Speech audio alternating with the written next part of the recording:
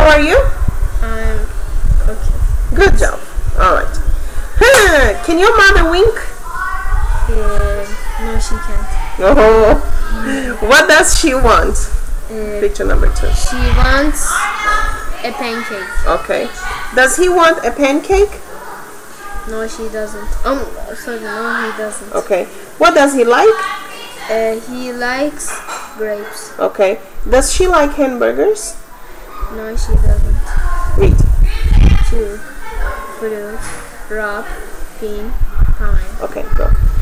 I'm Jake and this is my brother Harry. We're scouts. We learn new things in the scouts.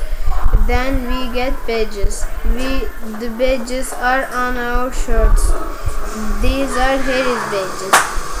He can sail, he can ski, he can climb, and these are my badges. I can skate or sail, but look what I can do.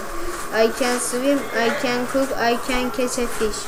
I don't have these badges. I can't fly and I can't ride a horse. Good job, boy.